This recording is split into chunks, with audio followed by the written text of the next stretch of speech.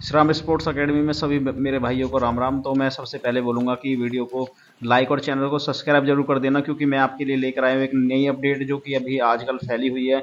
और फैली क्या हुई है? चल रहा है कि दिल्ली पुलिस के एग्ज़ाम तो चल ही रहे हैं, उसके साथ साथ डेट का भी पता हो चुका है कि 22 दिसंबर को जो दिल्ली पुलिस का फ़िज़िकल होने वाला है तो मैं आज आपके लिए लेकर आया हूँ। 1600 मीटर फ़िज़िकल वर्कआउट के बारे में कि आप ही अपनी टाइमिंग को कैसे ही कम कर सकते हो, जो बच्चा भाग रहा है सात मिनट में, वो कैसे छः मिनट में लेकर आ सकता है।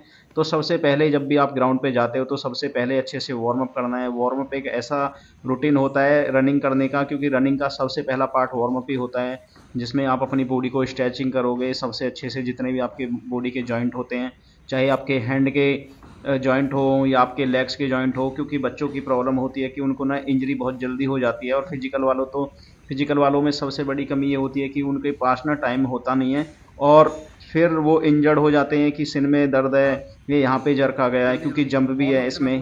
चौदह फिट जंप भी लगानी है और हाई जंप भी करनी है तीन ग्यारह। तो मैं सबसे पहले आपको यही सजेस्ट करूँगा, यही गाइड करूँगा कि अच्छे से पहले वार्म अप करो ग्राउंड पे जब भी जाते हो तो अच्छे से वार्म अप करो और दिन में खूब अच्छा सा पानी पिया करो डाइट अच्छी लो। तो सबसे पहले आपको हर एक मसल के अच्छे से वार्म अप करना है।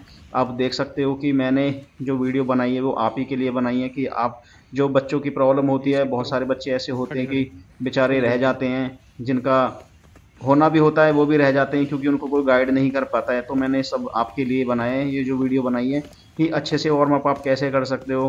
तो सबसे पहले खड़े, अभी जब रनिंग करने के बाद आपको अच्छे से वार्म अप करना है वार्म अप में आप अच्छे से मूवमेंट करना, जो भी मैंने बताया कि हर एक बॉडी पार्ट का, जिससे कि आपकी मसल ओपन हो जाए।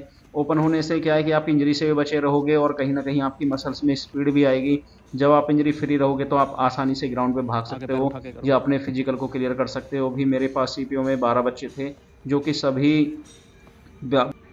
सीपीओ में मेरे पास बारह बच्चे थे जिन्होंने बारह के बारह ने फ़िज़िकल क्लियर कर दिया। उनके साढ़े छः मिनट में थी और बारह feet high jump long jump थी और चार फिट हाई जंप थी जो कि बच्चे क्लियर कर चुके हैं। देखो अभी जो एक्सरसाइज मैं बताने वाला हूँ जो बच्चे कर रहे हैं अभी वीडियो के अंदर आप देख सकते हो। तो ये एक्सरसाइज आपको अपने वर्कआउट में ऐड करनी है। सबसे पहले ग्राउंड पर जाने से पहले जाने के बाद ग्राउंड पे जाने के बाद आपको सबसे पहले रनिंग करनी है, उसके बाद अच्छे से जॉइंट वार्म करना है। और जो ये वार्म अप ड्रिल हैं, जो एक्सरसाइज हैं आपको अपने वर्कआउट में ऐड करनी है। रनिंग की बेस्ट एक्सरसाइज हैं, जो हर कोई, चाहे कोई ओलंपिक एथलीट हो या आपका कोई रनिंग वाला जो भी आप फ़िज़िकल की तैयारी कर रहे हैं, आप ये वर्कआउट में अपने ऐड कर सकते हैं, क्योंकि ये वो बेस्ट एक्सरसाइज है, पाँच से छः एक्सरसाइज जो आपकी स्पीड भी इंक्रीज करेंगी, आपकी जम में भी हेल्प करेंगी और आपकी रनिंग स्पीड भी इंक्रीज करेंगी। देखो, ये जंप में सबसे बेस्ट एक्सरसाइज है, ये अपने वर्कआउट में ऐड करना, इससे क्या होगी, आपकी लॉन्ग जंप बेटर होगी हाई जंप बेटर होगी और ये सारी एक्टिविटी ऐसी हैं, जो आपको स्पीड भी, आपकी जो रनिंग स्पीड है, वो इंक्रीज करेंगी, आपके जो टाइमिंग है, उसको कम करेंगी। तो अभी जो मैं कराने वाला हूँ वो स्टार्ट कराने वाला हूँ। छोटी छोटी स्टार्ट अभी ये बच्चे हाई नहीं कर रहे हैं। हाई नहीं से क्या होती है? आपकी बैलेंसिंग आती है। हाथ का मूवमेंट तेज होता है पैर का मूवमेंट तेज होता है। तो हमारी अकेडमी ग्रेट नोएडा में तो मैं भाइयों सभी से रिक्वेस्ट करूँगा कि चैनल को सब्सक्राइब ज़रूर कर देना। और छोटी छोटी स्ट्रेड आपको लगानी है सौ सौ मीटर की जिससे आपकी स्पीड इंक्रीज होगी। और इंडोरेंस के लिए क्योंकि देखो सोलह सौ मीटर इंडो सोलह मीटर इंडोरेंस वर्क होता है ये सभी जानते हैं। जितना हमारी कोई मसल लॉन्ग टाइम तक काम कर सकती है, जैसे जल्दी थक जाते हैं तो आपको ये सारा वर्कआउट ऐड करना है। इससे आपकी मसल भी नहीं थकेगी और आप स्पीड से रन भी कर सकते हो, अपनी टाइमिंग को बेस्ट कर सकते हो। और ऐसे मैंने वर्कआउट कराया फिर इनको बच्चों को 400 मीटर, जिससे आपकी मसल और मसल इंडोरेंस और स्पीड इंक्रीज होगी।